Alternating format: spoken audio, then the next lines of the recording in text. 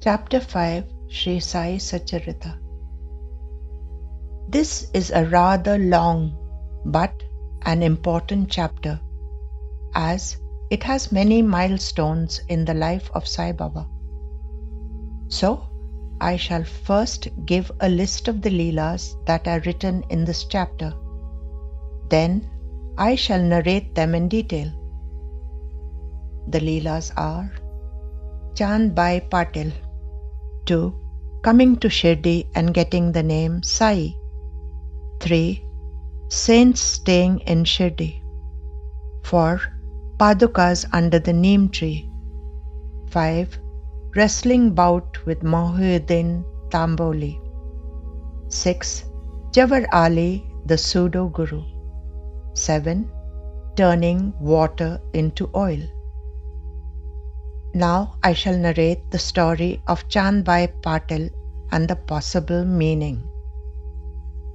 Southwest of Aurangabad lies a small village called Dubkheda. Chand Patil lived there. He was the headsman or patil of the village.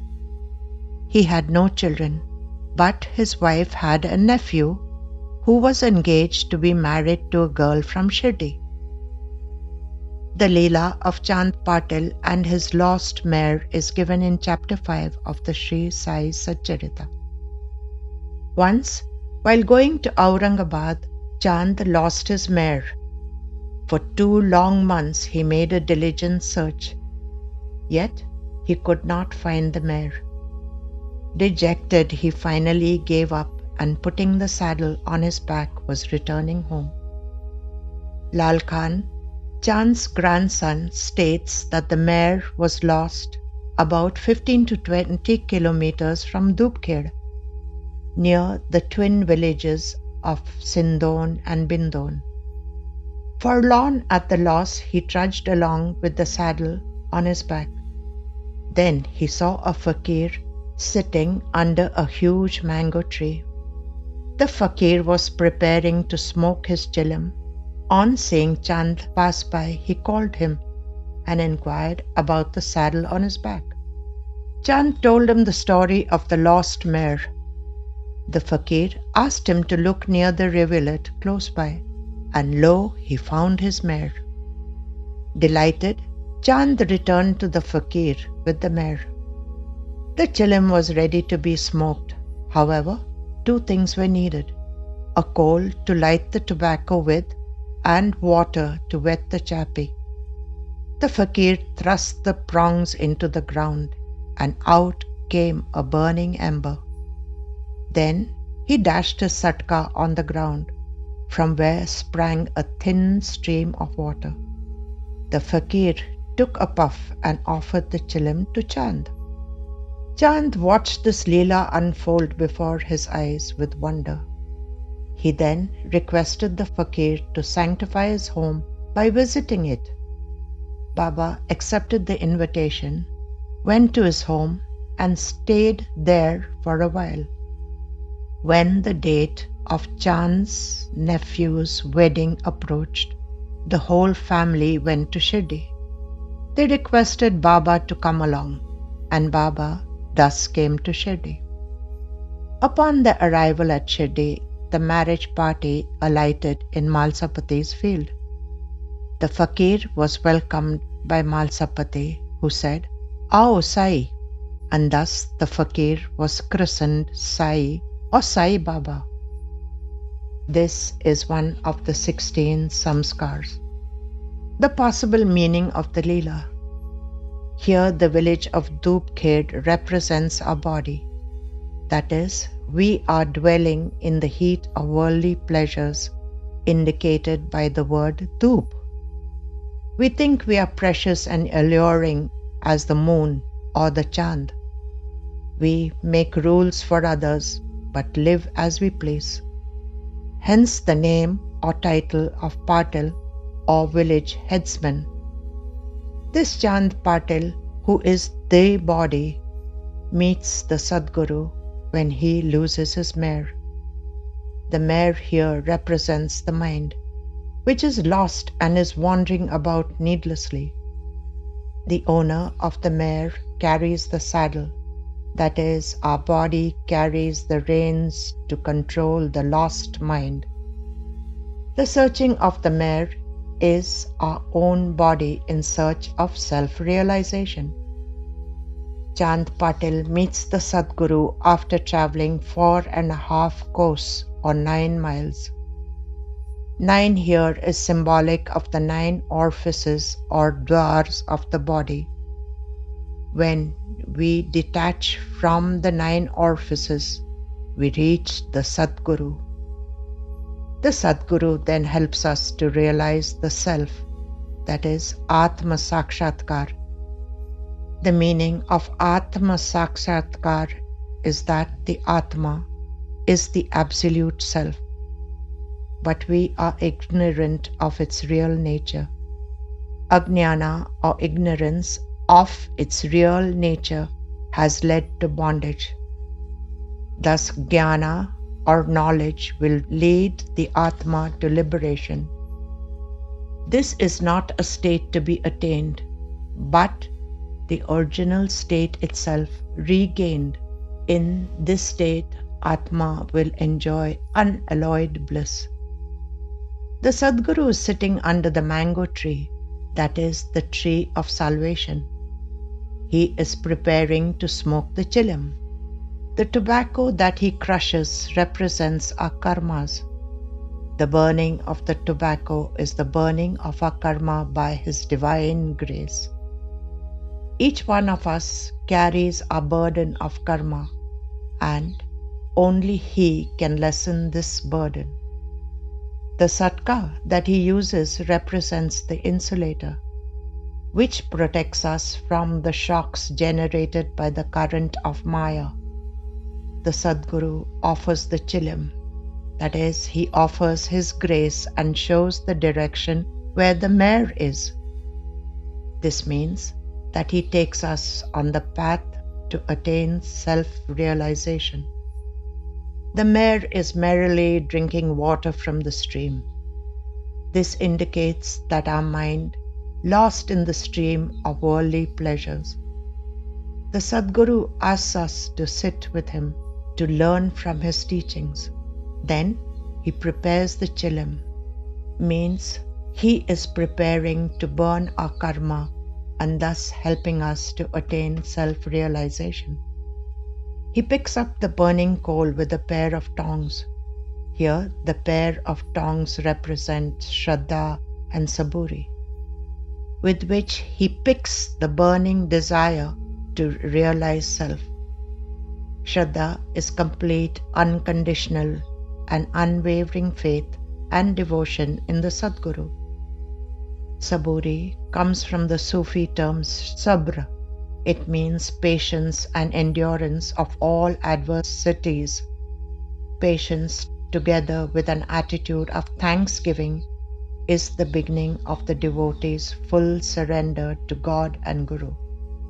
He brings forth a stream of water from the ground with the help of the satka, that is, the discriminating knowledge or insulator between the transient and the intransient materials that help to get bhakti. He then soaks a piece of cloth in the water and ties it around the lower end of the chilim so that the heat from the burning tobacco will not harm us. If we soak ourselves in bhakti, then we will get protected from the burning heat of our karmas and we will be in the state of bliss. This could be the possible meaning. Next, I will narrate the charitra of the saints that visited Shirdi in the mid 1800s. Gangagir Maharaj performs Nam Sapta in Shirdi. Gangagir Maharaj was born in Kapas, Vadgaon in 1814. He was devoted to Lord Shiva and Vithala and was of the Varkari Sampradaya. His ashram is in Sarla Bhet, Taluka Srirampur, about 39 kilometers from Shirdi. He went from village to village performing Nam Sapta for a week. After the Sapta, he performed a massive Annadan. Once he visited Shirdi and performed Nam Sapta. On that visit, he saw Baba holding two pitchers of water in both his hands and watering the plants. Nearby, he saw Malsapati standing and talking to some villagers. Gangagir went to him and said, Who is this Maharaj? Malsapati informed him that he was Sai Maharaj. Then, full of admiration, he said, He's a diamond. If you think he's an ordinary stone lying in rubble, you have not recognized his divinity. Just then, Baba went to the Dwarkamai and kept the pictures. Gangagir Maharaj followed him. Baba quickly kept the pitchers there and picked up a small stone in his hand as if to throw it at him. But Gangagir Maharaj just stood there smiling. Go this way and come through the west, said Baba, pointing the way. Maharaj did what Baba had ordered. Then Baba welcomed him, saying, Come, Changdev Maharaj. Later, Malsapati, Gangagir Maharaj, and Baba sat together and smoked the chilim in the Dwarkamai. Annadan was performed in Shirdi during Baba's centennial celebrations. It was done on Panchami of the Shravan Mass of 2018. The Annadan was simple but delicious. It consisted of amti and bhakris. The bhakris were collected from the neighboring villages and from every home in Shirdi. This was done so that the villagers could participate in the Annadan and enjoy it. This Annadan has been going on non stop for 171 years. This information was taken from Shiladhi, written by Keshav B. Gavankar. Anandnath Maharaj comes to Shirdi for darshan in 1885. Anandnath Maharaj hailed from South Konkan and belonged to the Gaud Brahmin sect. He was a disciple of Swami Samarth of Akkalkot. His mutt or ashram is near Yevla. Nandaram Marwadi, Dagdu Gaike, Shama, and Tatya visited Yevla once for his darshan. After taking his darshan, they sat in a bullock cart to return to Shirdi. All of a sudden, Anandnath Maharaj came to their bullock cart and sat in it. Then he came to Shirdi. Upon seeing Baba, he said, this Maharaj is a diamond, a rare diamond. You people must have a good perception of his spirituality and divinity. After taking Baba's darshan, he returned to his ashram. Devi Das was already in Shirdi when Baba arrived with the marriage party of Chand Patil. Devi Das was a Gosavi was bare bodied except for a langot. Though he was just 10 years old, he was highly spiritual and enlightened. Many of the residents of Shirdi, like Tatya and Kashiram, became his disciples. He taught them to write on a slate and also taught them the Venkatesha Stotra.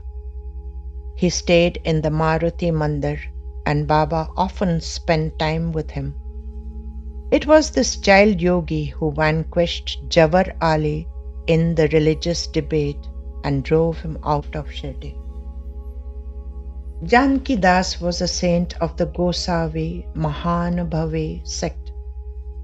Baba often went and chatted with him, and at other times Janki Das came and chatted with Baba. Baba was silent for the most of the time and did not waste his time in idle chatter. I shall now narrate the Leela of the Padukas below the neem tree and its Sthapana. Baba's Paduka below the neem tree. In chapter 5 of the Sai Satcharita, the story of the Padukas is given. Dr. Keshav B. Gavankar, in his book Shiladhi, gives a more detailed and slightly different account. The devotee should read both the versions together. Dr. Ram Rao Kotare lived in Mumbai. He had made a pilgrimage to Shirdi in 1912. Dr. Kotare's medical assistant and his friend Bhai Krishna J. Alibagkar were also devoted to Baba. Unfortunately, the name of the medical assistant is not given. Ali Alibagkar and the medical assistant had visited Shirdi several times earlier. They visited Shirdi again in 1912. One evening, Shagun Meru Naik, Kamlakar Dikshit, Alibagkar, and the medical assistant were chatting together. The conversation turned to Baba's manifestation in Shirdi. They decided that the area adjacent to Sathewada under the neem tree should be revered, as Baba sat there, and this site should be marked with the installation of Padukas. Ali Alibagkar immediately went and got padukas made of a rough, ordinary stone and brought them. Seeing the padukas, the medical assistant said, Do you really want to install these ordinary padukas? If my employer was aware of our plan, he would gladly have got marble padukas made. They informed Dr. Kotare of their plan he got a drawing of a pair of marble padukas and brought them to Shirdi. The doctor was friendly with Upasani Maharaj and he showed his drawing and told him about the plan. Upasani said, Your plan is great, but instead of installing bare padukas, if they are motifs of the Shankha, Chakra, Gada, and Padma, it will look beautiful. The padukas should not lie on the floor. They ought to be on a marble pedestal. The pedestal should have marble on all four sides. On the front panel, the sacredness of the neem tree and the greatness of having darshan of the Sadguru may be inscribed. Dr. Kotare gladly agreed with the suggestion. The motives mentioned above are in the four hands of Lord Vishnu. The sound that emits from the Shankh or conch is the sound of Pranav or Om. It symbolizes Nada Brahma or God in the form of sound. The chakra or wheel symbolizes the one who turns the wheel of samsara. Gada or mace known as Kaumudi, stands for a category of Buddhi. Padma or lotus is the symbol of purity and eternal peace. On the front panel was inscribed the fourth verse of Sri Sainath Mahima Stotra, written by Upasani. The verse reads I bow to Lord Sainath, whose constant abode was at the front of this neem tree. Thereby he turned into nectar its bitter and distasteful taste, because he had exalted this tree above the legendary Kalpavriksha or wish fulfilling tree. Sthapana of the Padukas. Dr. Kotare got beautiful marble padukas prepared and sent them to Shirdi. They were kept in the Khandoba Mandir for two days. Baba said, on Shravan Shuddha Purnima, perform the Sthapana. On that day, at 11 a.m., Govind Kamlakar Dikshit carried the Padukas on his head in procession to Dwarkamai and placed them at Baba's feet.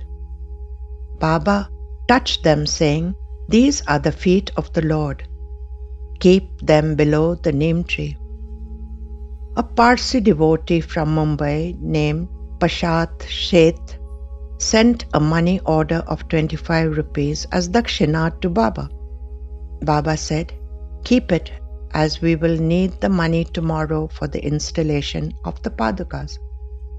On the day of the installation, Upasani, Jog, Bhate, Dada Kelkar, along with a host of devotees, participated in the ceremony. They spent 100 rupees for the installation and the feast that followed. Baba gave 25 rupees and 75 rupees were contributed by Alibagkar, Vasudev Appaji, Sathe, and Kamlakar. Four Brahmins representing the four Vedas came from Kopargaon and performed the ceremony. The villagers joyfully participated in the function.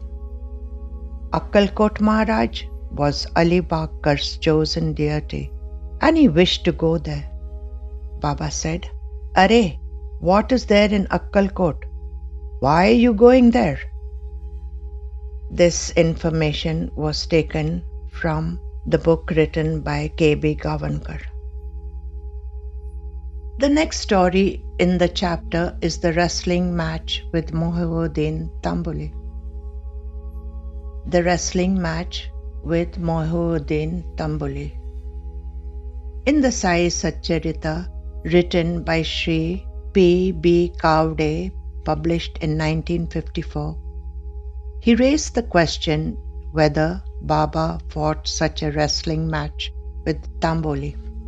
Actually, Mohiuddin's uncle was a black magician called Tantrik who was an expert in Jadoo Tona. Because of Baba, his business was affected. So they were antagonistic towards Baba. Possibly the match was symbolic, as Baba would have just lifted his little finger and Tamboli would have crumbled to the ground. Wrestling is symbolic of what we all do on a daily basis. It is wrestling with Maya, which drags us deeper and deeper into the ocean of samsaric or materialistic world.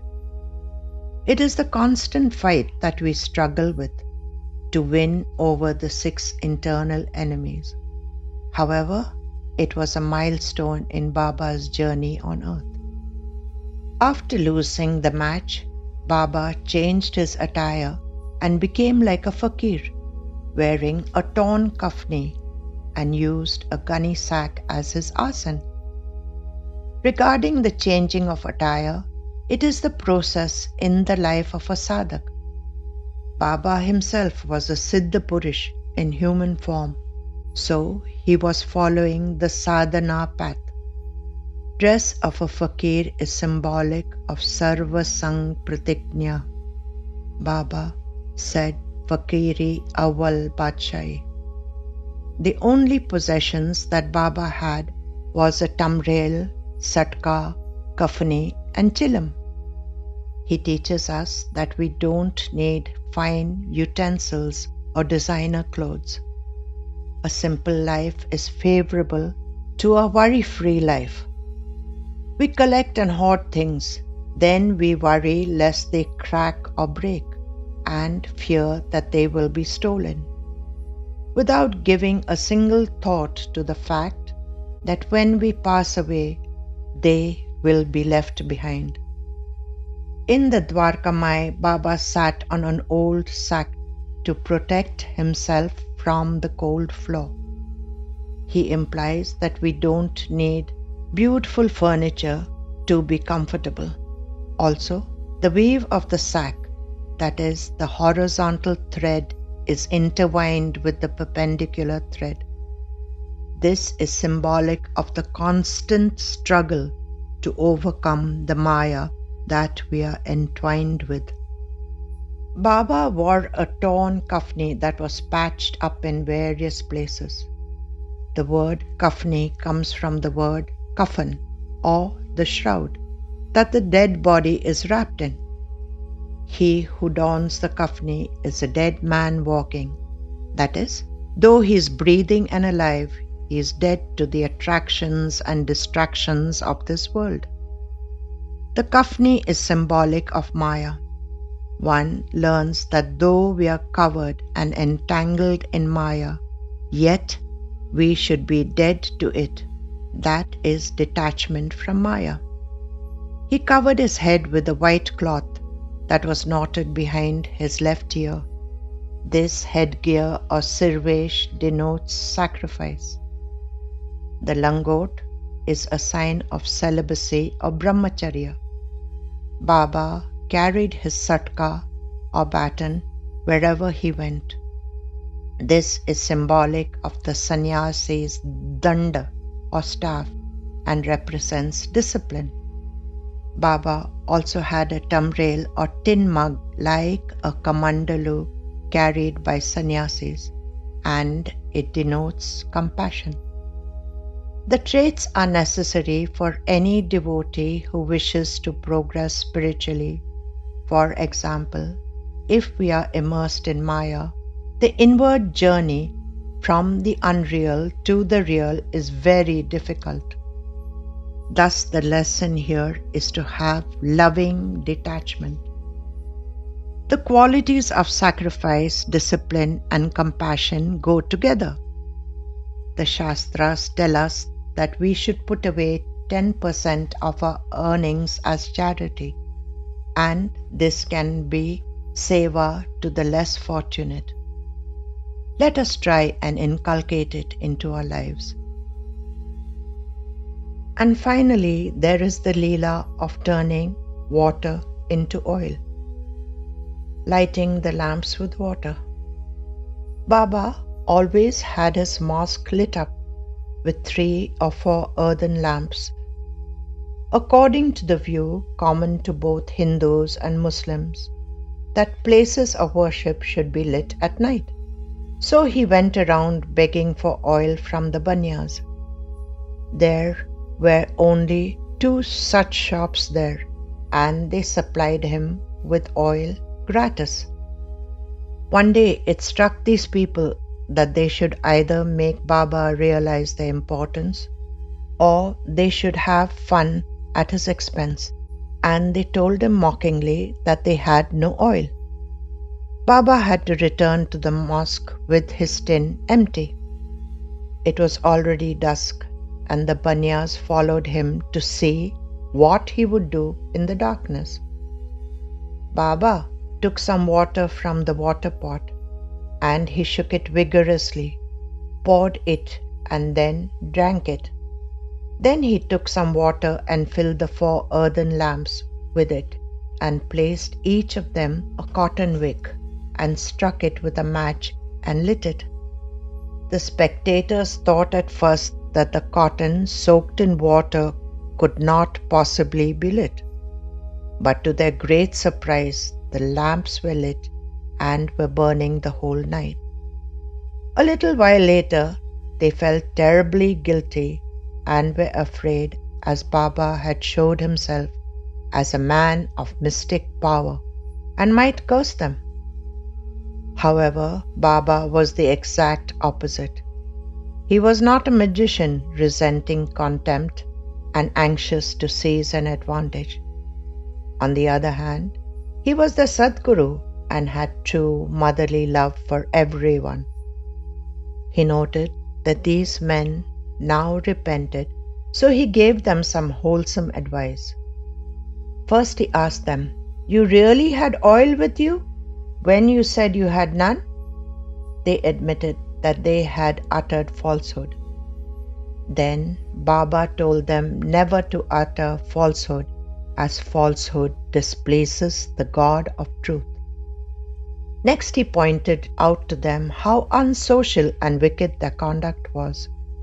The lights were needed for the use of all who visited the mosque, and the public would be inconvenienced if there was no light. He asked them if they had come to the mosque to enjoy the pain which they expected him to endure while remaining in the darkness. They admitted the fact Then he pointed out that persons who take delight in others' misery instead of sympathizing with them would be punished by God. God is the mother of all and loves everyone equally. If you hurt a child and tell the mother that you have hurt the child, will the mother be pleased? Thus they had displeased God by coming to rejoice at his supposed miserable plight. He asked them never again to take pleasure in other people's distress. Then they promised to abide by his advice. After having given this excellent advice, Baba dismissed them. The effect of the incident was marvelous, and thus the Yeda Fakir became a mystic with wonderful powers. This information is taken from the life of Sai Baba by Narsingh Swamiji.